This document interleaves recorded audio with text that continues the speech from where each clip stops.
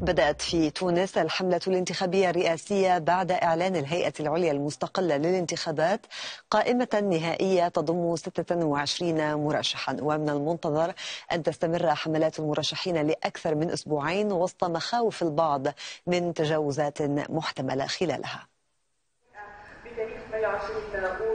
26 مرشحا. هي القائمة النهائية للانتخابات الرئاسية في تونس.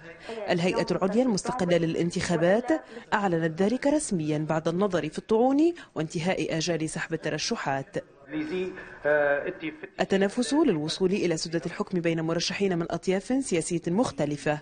دفع رئيس الجمهورية المؤقت محمد الناصر إلى دعوة المرشحين بالالتزام بالنزاهة والشفافية أثناء الحملة الانتخابية. دولة حريصة على أن تكون هذه الانتخابات تقع في شفافية وأن تكون يعني صادقة وأن تعطي لكل المتنافسين حظوظهم حظوظ متساوية.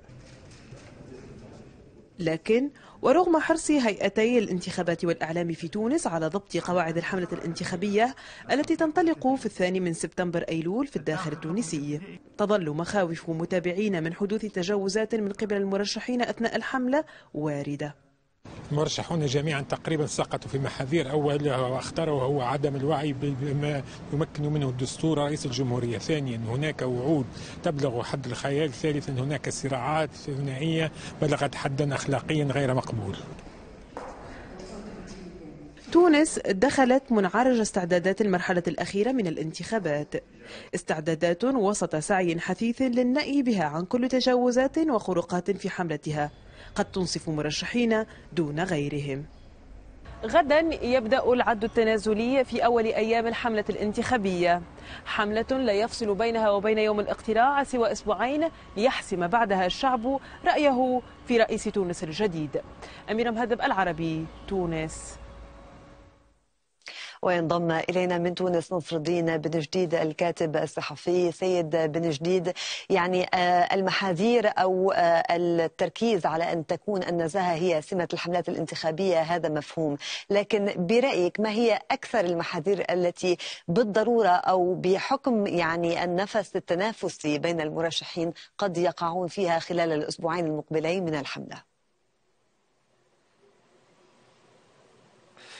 مساء الخير سأتحدث عن الماضي قبل الحديث عن المستقبل منذ ظهور نبأ وفاة الباجي قائد السبسي وتأكد من الوفاة. انطلقت الحملة الانتخابية فعلا وجثمانهم لم يوارى التراب ولم تنتهي الجنازة. منذ ذلك اليوم إلى الآن وإلى يوم الانتخابات هناك حملة انتخابية مستمرة دون هوادة ودون انقطاع. ثانيا والأهم هناك جهل مدقع من غالبية المترشحين بماهية أو بالصلاحيات الممنوحة لرؤساء الرئيس ضمن الدستور التونسي الذي تم المصادقة عليه بعد الثورة. ثالثا أعتبر أن هناك المال السياسي الظاهر.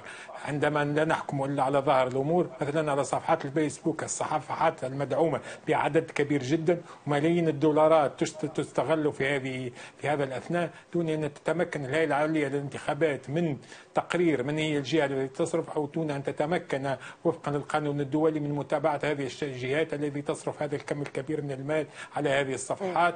ودون أن نذهب في تحليل علمي لإعطاء أو لإنتاج الصحافة التونسية والإعلام المرئي الذي هو غير متوازن بالمرة في تعاطيه مع المترشحين بمختلف طيب. ألوانهم إذا سيد نصر الدين نتحدث عن المال نتحدث عن الإعلام بما فيه social media أو وسائل التواصل الاجتماعي ولكن أيضا كان هناك حديث عن ميثاق أئمة المساجد لاعتبار أنه يمكن أن تكون خطب المساجد محفزة أو مجيشة ويعني تدخل في سياق الحملة الانتخابية. الدين لم يبعد عن السياسة منذ القديم. في تونس والدين هو جزء من التعامل السياسي والدولة مسؤولة عن الدين وكامل الرؤساء الذين سبقوا محمد الناصر. وبما في محمد الناصر لهم طابع ديني ويشرفون على على على المناسبات الدينية. لكن أعتبر أن المساجد هذه المرة موزعة ولن تكون ذات صوت رجل واحد ولن تكون متدخلة بالشكل الذي المعتاد ضمن ما هو حملة انتخابية. لاعتبارات عدة. أولها كثرة وارتفاع عدد الجهات المترشحين الذين يدعون خطابا اسلاميا وثانيا والأهم خوف هذه الجهات من من من من القضاء ومن تدخل الدولة لإيقاف هذه المساجد ومن عدم إيقاف أئمة هذه المساجد وعدم تركهم يواصلون مهامهم. سيد نصر الدين بن جديد الكاتب الصحفي شكرا جزيلا لك من تونس.